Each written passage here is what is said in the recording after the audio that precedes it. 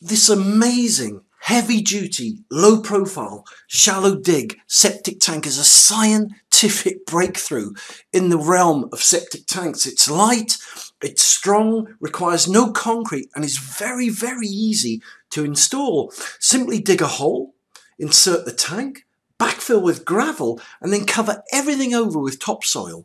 Job done.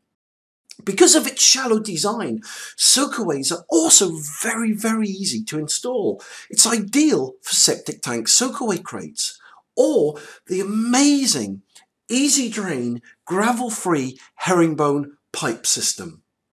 If you're looking for one of the most advanced septic tanks in the world that's government approved and that's easy to install, then this septic tank is for you.